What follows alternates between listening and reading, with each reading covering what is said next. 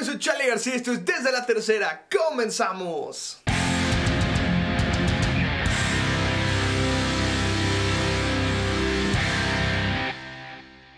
La semana pasada AAA dio mucho de qué hablar, esto debido a la conferencia de prensa que dieron en donde tocaron puntos importantes como es el caso de Lucha Underground, el caso de Rey de Reyes 2018 y también algo que llamó muchísimo la atención que es presentar las dos primeras luchas estelares de su magno evento del año, Triple Manía 26, faltando muchísimo tiempo. Y eso me dejó pensando en que AAA hace cosas muy buenas, pero también sigue dejando a un lado cosas que la verdad tiene que mejorar para presentarnos un producto en general atractivo para todos los aficionados. Ok, AAA llena cada arena en la que se presenta, pero eso no deja que haya aficionados que aún estén en desacuerdo con muchas de las cosas que hacen. Y no estoy hablando de, de aficionados que simplemente critican por criticar, sino de aficionados que realmente tienen fe aún en la empresa, en que creen que algún día va a llegar a repuntar a lo que fue tal vez en los 90. Es algo muy complicado, pero la verdad es que AAA tiene mucha calidad en cuanto a sus luchadores y por sus filas han pasado muchísimos luchadores que realmente gente de desaprovechó.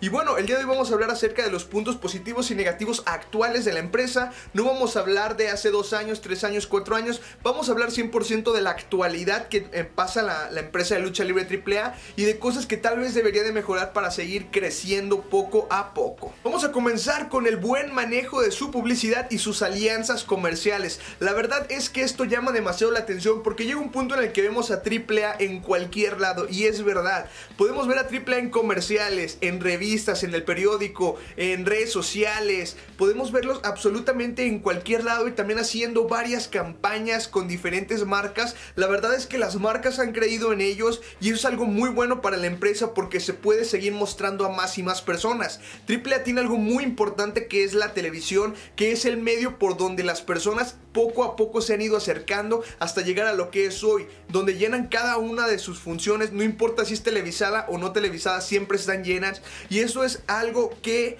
es por la publicidad. La verdad es que la publicidad de AAA es bien manejada y también, como lo repito, hace campañas que también ayudan mucho en la parte benéfica. Y la verdad es que esto me agrada por parte de AAA. Me agrada que tengan estas alianzas comerciales y que se sigan mostrando a más y más personas. ¿Por qué? Porque así su producto se convierte en más llamativo, más atractivo para muchas personas. Recordemos que su mercado tal vez son los niños, su mercado actual son los niños, son las personas que llenan las arenas actualmente, obviamente en compañía de sus padres, pero la verdad es que está dirigido a este, a este público en su mayor parte y los personajes muchas veces se dirigen a que ellos salgan felices de las funciones. Uno de los puntos que más me llamó la atención y que me dejó con un gran sabor de boca en la conferencia de prensa de la semana pasada fue que AAA está buscando la internacionalización. Así es, AAA busca expandir sus horizontes y es por eso que con esta gira de la conquista va a llegar a más países. Recordemos, va a estar aquí en México, va a estar Panamá, va a estar en Colombia, va a estar en Estados Unidos, en Japón y por ahí también se busca que estén en el Reino Unido. La verdad es que AAA está poco a poco buscando que más personas los vean y esto la verdad es bueno para ellos. ¿Por qué? Porque se sigue mostrando la lucha libre mexicana. Es una empresa mexicana a final de cuentas y eso hace que se siga mostrando. La verdad es que AAA ha hecho esto muy bien y la verdad es que tiene un gran reto al querer alcanzar ese tipo de mercados. ¿Por qué? Porque no son nada sencillos. Recordemos que muchas veces ese tipo de mercados son más de WWE. WWE visita esos, esos países y la verdad es que son llenos totales y eso es algo que AAA con lo que tiene que luchar. Así que vamos a ver cómo le funciona esta gira de la conquista.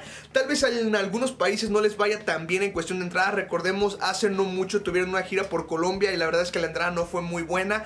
Pero la verdad es que poco a poco van a poder consolidar esta internacionalización que buscan si siguen buscándola y manejándola de una buena manera. Ahora vámonos con otro punto positivo que son las transmisiones de calidad. La verdad es que yo disfruté muchísimo el Guerra de Titanes transmitido por la plataforma de Twitch. Me encantó Falou! Esta alianza que han hecho con esta plataforma porque yo no tuve absolutamente ningún problema, tuve buen sonido, tuve buena calidad de imagen y la verdad es que yo no me puedo quejar acerca de esa transmisión que nos presentó AAA, la verdad es que muy muy buena, además de que nos presentó narradores que la verdad le dieron un sabor interesante a cada una de las luchas, a pesar de que las luchas no fueron lo que pensábamos, como es el caso de Hugo Sabinovich, una leyenda en el micrófono de la lucha libre y también tuvimos a José Manuel Villén, este chavo de, de Más Lucha que la verdad verdad hace las cosas muy bien y también le da un gran toque a las funciones. Ahora creo que estuvo con Bernardo Guzmán en una función, creo en Toluca, si no mal recuerdo, las, el viernes pasado. Así que esto es algo muy atractivo, muy llamativo, como lo repito, esta alianza con Twitch fue algo espectacular. Ya se nos confirmó que van a estar los eventos de la gira de la conquista a través de esta plataforma, de que va a haber una biblioteca de contenido de AAA por esta misma plataforma y de que vamos a tener el Triple Manía 26 totalmente en vivo a través de esta plataforma. Así que dense la oportunidad más bien de, de descargar la aplicación tal vez en su celular o de verlo en su computadora y de que chequen ustedes la calidad que nos presenta AAA en cada una de sus transmisiones porque la verdad es muy buena, tiene todo muy pero muy atractivo. Y eso nos lleva al siguiente punto y es el hecho de que tiene un buen espectáculo. No estoy hablando en caso de los shows que no son televisados, estoy hablando 100% de los shows que son transmitidos para televisión, los magnos eventos o en este caso la que será la gira de la conquista. La verdad es que sí nos maneja una buena producción audiovisual en todo, todo este show de, de la empresa de lucha libre AAA. Es algo llamativo, es algo muy bueno, es algo que de lo cual yo no me quejo. Recordemos, tiene las pantallas, tiene las luces, tiene el sonido. La verdad es que es muy, pero muy llamativo y en este punto no hay ningún problema, la verdad es que hacen las cosas muy bien. Y bueno, esos fueron los puntos positivos, ya iba a decir negativos, positivos de la empresa de lucha libre AAA, que me da muchísimo gusto que busque nuevos retos, que busque consolidarse ya de una, de una manera más grande y más amplia y expandir sus horizontes, además de que esta alianza con Twitch les va a beneficiar muchísimo, en verdad muchísimo. Y bueno, ahora vámonos con los puntos negativos, puntos que ustedes ya conocen, porque qué? Porque AAA de manera externa, que es lo que ya he estado mencionando, muy bien, en verdad se los aplaudo y en verdad los admiro por cada una de las cosas que han hecho. Pero en la parte interna, en la parte que más debería de llamar la atención, que es el luchador, la calidad de las luchas, en esa parte siguen estando absolutamente mal. La verdad es que no entiendo por qué AAA no hace que funcione cada uno de sus eventos, que funcione cada uno de sus shows, porque realmente no tienen buena calidad. Hay personas a las que sí les puede gustar, pero hay que ser honestos, las luchas no son buenas, las rivalidades no están bien construidas, no tienen un fin, no tienen un inicio, no tienen absolutamente nada. Y es algo que yo muchas veces he criticado a AAA. Y vamos a comenzar con esos puntos negativos, con el manejo creativo de cada uno de los luchadores. La verdad es que muchas veces vemos que hay luchadores que pasan totalmente desapercibidos, luchadores que merecen oportunidades y siempre los vemos en el olvido, abriendo las funciones o a veces desaparecen de televisión, a veces ni siquiera sabemos qué es lo que pasa con ellos.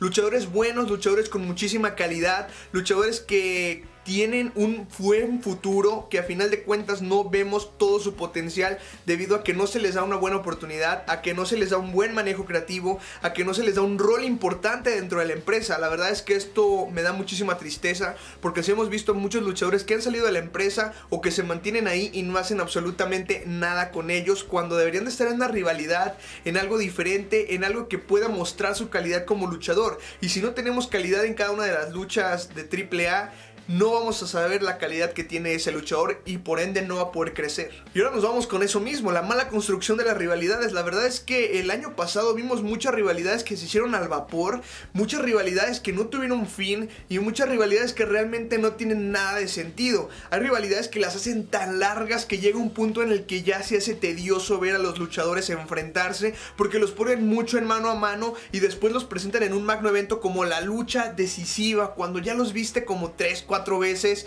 en una misma lucha y que posiblemente una de esas cuatro luchas fue mejor a la que te van a presentar en ese magno evento. Una de las rivalidades que la verdad no llama para nada la atención que podría decir actualmente es la de la Parca y Dave the Clown. No sé si vaya a terminar ya con esto de que, de que la Parca va a retar a Dr. Wagner por el campeonato en la pasada función el viernes pasado ganó una oportunidad para ir por este megacampeonato. No sé qué vaya a ocurrir. Es una rivalidad que realmente no llama nada la atención. Una rivalidad que también siento que se hizo al vapor y que espero no llegue a triple manía y que espero no llegue a una lucha de apuestas. La verdad es que las rivalidades en triple A no tienen un buen control, no se tiene un buen manejo. Lo hemos visto hasta en las luchas de tercias que ya son aburridas. Si bien la lucha en Guerra de Titanes fue la mejor de Guerra de Titanes para mí, creo que ya estamos un poco cansados de ver siempre las mismas tercias. Y no es que no me gusten las tercias sino que eh, deberían de dar ya un espacio para dejar de esta rivalidad de todos contra todos, porque prácticamente desde Triple Manía del año pasado son todos contra todos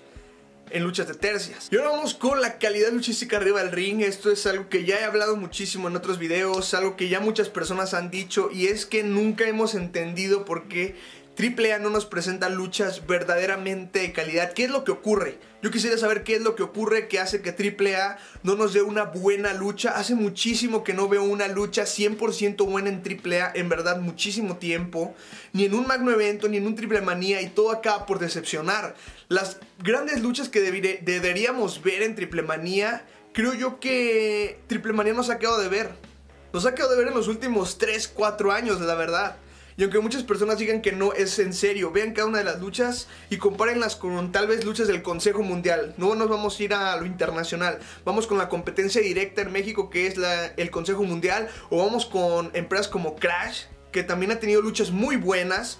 Obviamente cada empresa tiene algo que criticársele, pero AAA no tiene lo más importante con lo que se tiene que defender, que es la calidad arriba del ring. Es con lo que ellos tienen que defenderse y no lo hacen. Y bueno, un punto que también sale a destacar de la conferencia de prensa es anticipar las luchas. Nos han anticipado dos luchas estelares para Triple Manía número 26. Para empezar, Máscara contra Cabellera, Lady Shani contra Fabio Apache. Esa rivalidad no me llama la atención porque creo que no tenía una historia previa, sino que la historia la van a construir hasta Triple Manía. Y eso no es algo bueno ni llamativo.